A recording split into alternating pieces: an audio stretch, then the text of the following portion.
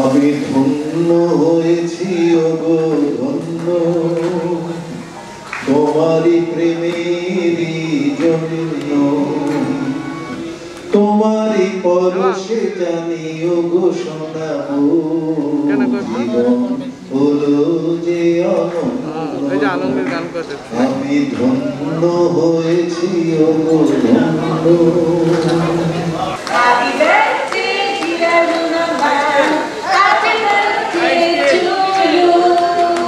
স্বামীকে সাথে নিয়ে নিজের সত্তরতম জন্মদিন উদযাপন করলেন উপমহাদেশের কিংবদন্তি সংগীত শিল্পী রুনা লায়লা।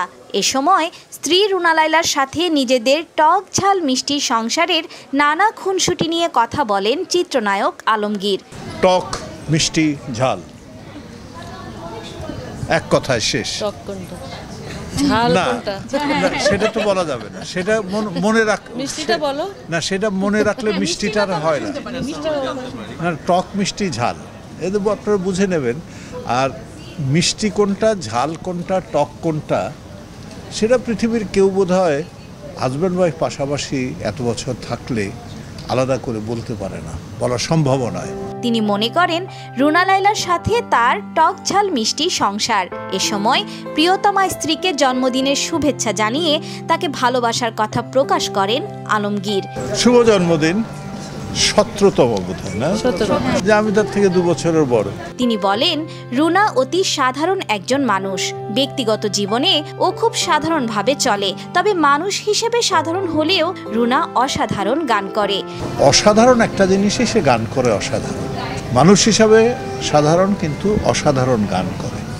এ সময় রুনা লায়লার প্রতি কবে থেকে ভালোবাসার সৃষ্টি হয় প্রশ্ন করা হলে এ নায়ক বলেন যখন থেকে রুনার গান শুনতাম তখন থেকেই আমি তাকে পছন্দ করতাম।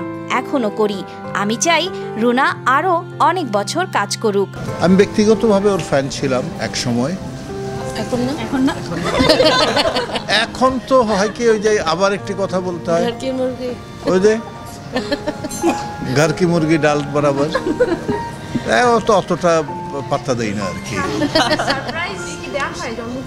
হ্যাঁ আর সারপ্রাইজের কথা বলো না খুব কষ্টে আছি আমি একটা কথাই বলব যে তুমি আরও অনেক দিন গান করো শিল্পী রুনা লায়লাকে জীবনসঙ্গী হিসেবে পেয়ে খুবই আনন্দিত এই চিত্রনায়ক উনিশশো নিরানব্বই সালে অভিনেতা আলমগীরের সাথে বিবাহ বন্ধনে আবদ্ধ হন রুনা লায়লা এটি রোনা লায়লার তিন নম্বর বিয়ে। পূর্বের দুই সংসারে সুখী না হলেও আলমগীরকে স্বামী হিসেবে পেয়ে গর্বিত রুনা লায়লা। তিনি মনে করেন, তার স্বামী অভিনেতা আলমগীর অনেক বড় মনের মানুষ।